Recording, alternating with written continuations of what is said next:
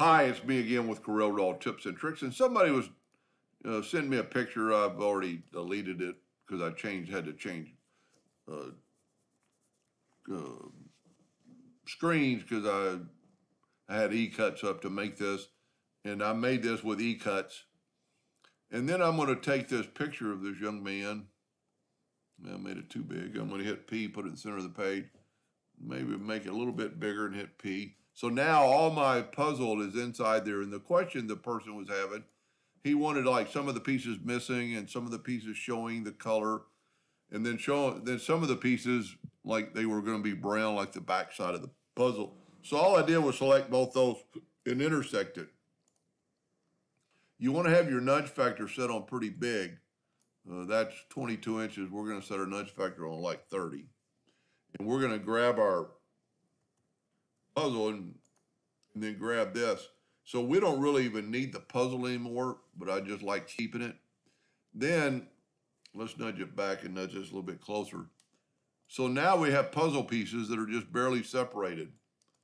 But this is what I think he wants because they want to print this on a t-shirt like it's a puzzle halfway done. So we're going to select that, go to object, group, and ungroup it. Now we have individual puzzle pieces. And you know, you could take them, you know, don't take away some of them, then you could rotate them.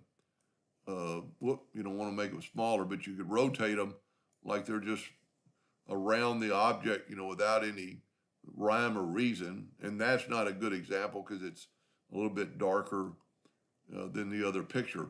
But he wanted some of them that would look like the puzzle pieces were flipped upside down. Well, one way you could do that, and I think the safest way to do it, would be able to nudge something out of the way so this picture is only now like 25, oh, wow, it's still 25 inches big. Nudge that out of the way, and then take your smart fill tool and put it on a brown like the back of the cardboard would be, and fill that in, and then nudge it over and take away the outline, and then you could move it wherever you wanted. Uh, it doesn't have to be actually a piece of the puzzle. You know, they're not, they're going to print this on a shirt, so it just he wants some pieces uh, where they look like they're just uh, sprung around. You cannot just take this. Maybe you can make a nope it's a puzzle piece, so you can't really do anything with it.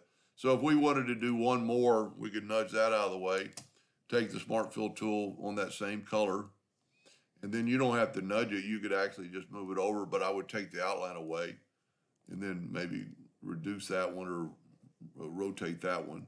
And you could still use this one because now it's behind the page, so it's not going to work. But you could always go to Object, Order, front of page, and then that piece will be back on front. So that would make, you know, then your artistic ability would be kind of play into it uh, what you think it should look like. That's pretty cute on a t-shirt. Anyway, hope that helped them a little bit. Thank you for watching.